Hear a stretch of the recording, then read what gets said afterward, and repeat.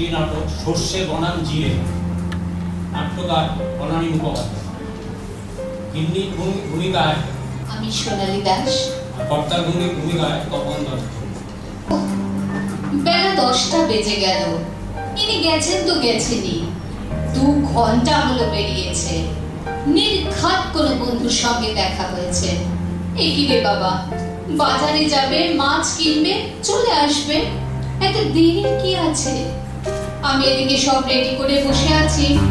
আর এই যে এই যে এসেছেন আচ্ছা তোমার কি আক্কেল বলো তো? ওই একটা ছোট্ট জিনিস। নেই নেই জিনিস নেই। নেই? নেই মানে? নেই মানে নেই। আশু বাবু নেই শ্যাম বাবু নেই মানিক বাবু নেই আর শিবানী বাবু নেই। এরা কারা? কারও মানে? ও এরাই তো বাজার। তবে বাবু বাবু করছ কেন? জ্বালাতন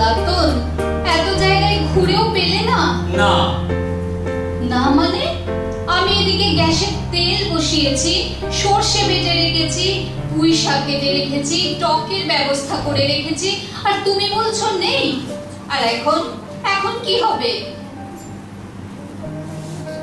ওসব ছেদু কথায় আমি ভুলছি না। মোট কথা? একটা কথা শুধু তোমাকে বলি। কি কথা?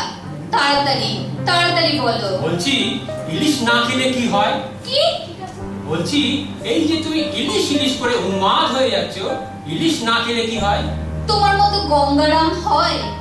না খেলে মানে ইন্দুদের বাড়ির সবাই আজ আসছে ইলিশ খেতে। শুধু ইলিশ দিয়ে ভাত খাবে। তেল দিয়ে ভাজা দিয়ে কাঁচা মুড়ো দিয়ে ভাপা দিয়ে টক দিয়ে। এখন কি হবে হ্যাঁ? কি আর হবে? তোমার হ্যাপা তুমি সামলাও। আমার হ্যাপা? না না তো কি আমার। আমি তো ইলিশ মাছের গন্ধ সহ্যই করতে পারি না। জানি জানি। তোমার মনে নেই? নতুন বর জামাই ষষ্ঠীর দিন ভাতের থালায় বমি করে দিয়েছিলে। কি করব? চারিদিকে যে ইলিশ মাছের গন্ধ মনে হচ্ছিল যেন আমি মাছের আড়তেই বসে আছি। নতুন শ্বশুর বাড়িতে তোমার মাছের আড়ত মনে হচ্ছিল? বলি হারি বাবা। তোমার বাবা ফুলসজ্জার তত্ত্বে বড় ইলিশ মাছ দিতে বলেছিলেন। তখন গন্ধ লাগেনি? তোমাদের এই গুলেই ভালো। যেমন নাম তেমনি চেহারা। দেখলে ঘেন্না হয় খেতে গেলে কান্না পায়। ঘেন্না? গুলে খেলে তোমার ঘেন্না হয়। হবে না। ম্যাং গো ওটা কি একটা চেহারা? সাপের মতো লিগলিগে আমাদের ইলিশ মাছ। কেমন দেখতে বলো তো? আহা ঝকঝকে যেন রূপোর তৈরি। দেখলে চোখ জুড়িয়ে যায়। এত সুন্দর যে লোকে কবিতা লিখে ফেলে। সেই যে কষিত কনক কান্তি করেও কায় দূর, দূর, দূর। ওটা কি ইলিশ মাছ নেই? তপসে মাছ। তাই নাকি? তাহলে ইলিশ মাছের কবিতাটা কি গো? ও আমি জানি না। বলে একের আমি রক্ষী নেই সুগ্রীব সহ্য করতে পারি না। তারপর আবার কবিতা। এখন কি হবে? বলো এখন কি হবে? ওরা তো এলো বলে। দেখো যা বলছি শোনো আগে ভাগে ওদের ফোন করে দাও। বলো আজ আসতে হবে না। ওরা ভিখিরি নাকি? আজ হবে না? কি কথা ছিলি এই মাছের মন্ত্রী কোথায় থাকে গো?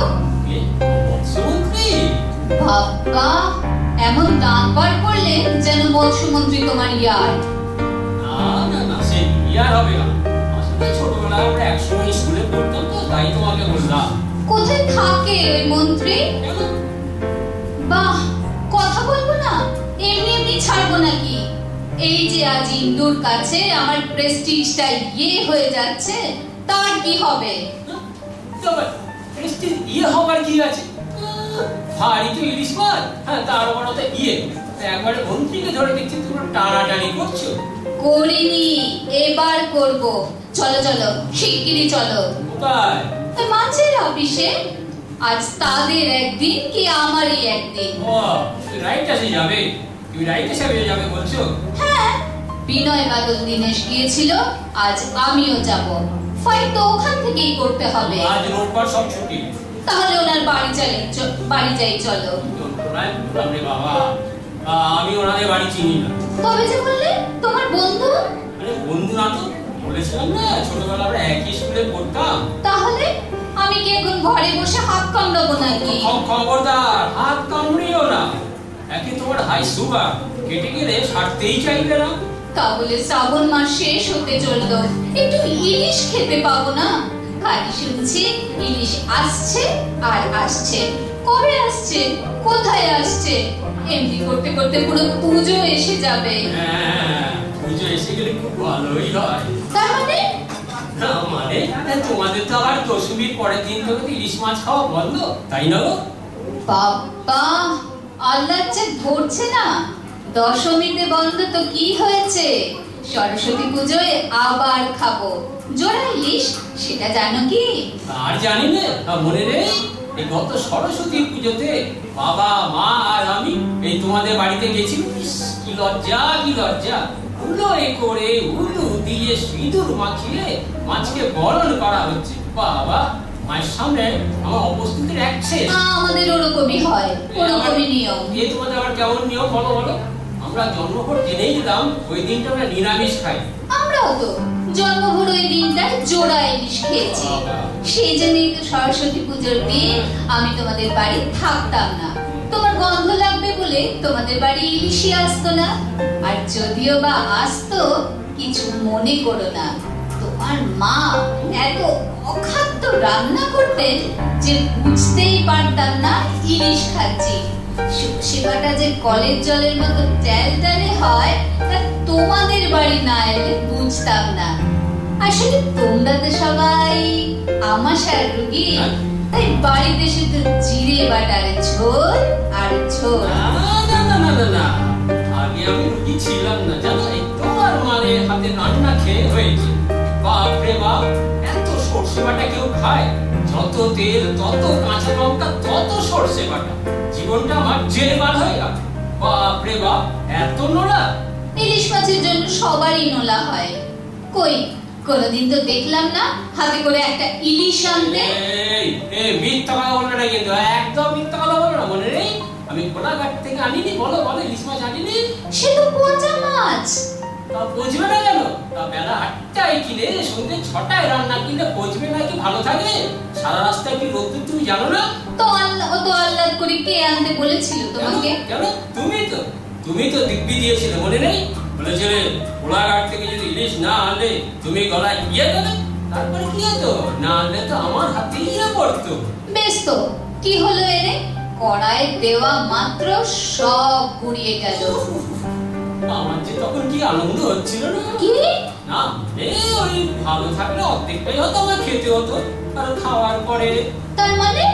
জেনে শুনে পচা মাছ এনেছিলে যাতে তোমায় খেতে না হয়? না না না তুমি বুঝতে পারছ না। খুব পারছি। এত বড় শয়তানি? ঠিক আছে আমিও প্রতিজ্ঞা করছি। এক সপ্তাহের মধ্যে যদি আমি একটা বড় ইলিশের অর্ধেকটা তোমায় না খাওয়াতে পারি তো আমার ওয়েট আগে ভাগে দিব্যি দিও না তো দিও না। মাছ তো তুমি নাও পেতে পারো। পাবই। পাবই পাশে ইলিশ। কেউ আটকাতে পারবে না।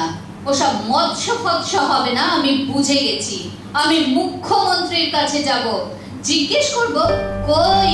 ইলিশ মাছ কই? হ্যাঁ? হ্যাঁ রোজ খালি কাগজে গুলতাপ্পে দিচ্ছে। ইলিশ আসছে আর আসছে। কোথায় আসছে? আমার মাথায় মুখ্যমন্ত্রী যদি না পারে ইলিশ মাছ খাওয়ার জন্য কি কাছে যাবে হ্যাঁ। হ্যাঁ তিনিও যদি না পারেন তো আমি ধর্ণা দেব মিছিল করব অনশন করব। হব ইন্দু আমাকে ইলিশ খাইয়ে জিতে যাবে আর আমি হেরো পার্টি হয়ে থাকব। ওগো রবিবার আমি ওদের ইলিশ মাছ খাওয়াবোই খাওয়াবো। খয়রা হলেও খাওয়াবো দু হাজার টাকা হলেও খাওয়াবো।